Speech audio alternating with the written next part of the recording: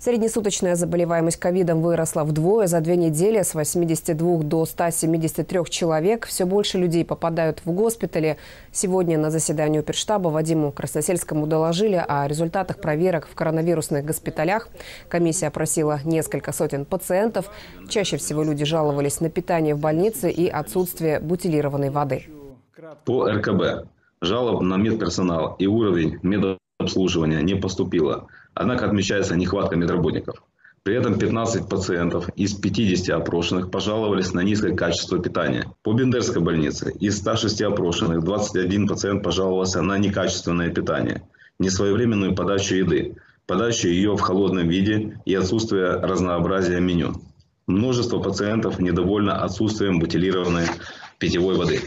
Проблемы с питанием в Бендерском ковид-госпитале его руководство объяснило нехваткой персонала на пищеблоке. Сейчас там работает всего один повар. Президент рекомендовал госпиталю заключить договор со специализированными организациями, чтобы они готовили и доставляли еду в Бендерский госпиталь, если там своими силами не получается обеспечить пациентов нормальным питанием.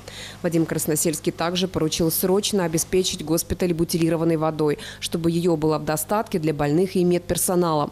Жалоб Жалобы пациентов коронавирусных госпиталей на бытовые условия лечения теперь будут принимать круглосуточно по горячим линиям Минздрава, МГБ и МВД. Это тоже распоряжение президента. Виталий Николаевич, значит, телефон доверия ставьте колл-центра и дежурной части МВД ПМР.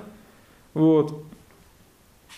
И, естественно, Валерий Дмитриевич тоже свой телефон доверия, круглосуточный, который у вас должен там быть, госбезопасности, тоже его включайте с инструктажем личного состава о том, что они должны э, принять звонок, записать так сказать, сообщение, ну и его передать, естественно, Министерство здравоохранения для обработки и э, проверки его.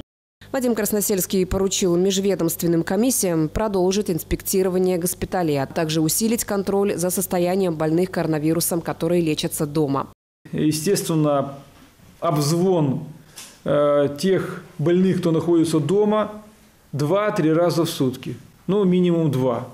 Минимум два. С целью выяснения состояния э, больного, ну и принятия решения по его госпитализации, либо оказания иной помощи. Это очень важно. Как показывает практика третьей и четвертой волны, своевременное обращение за медицинской помощью ну, в большей своей степени гарантирует сохранение жизни человека. Сейчас в республике развернуто 5 госпиталей, почти на тысячу койко-мест. Они загружены на 85%. В Тирасполе на базе госпиталя ветеранов сегодня дополнительно обустроили еще 60 мест для больных коронавирусом.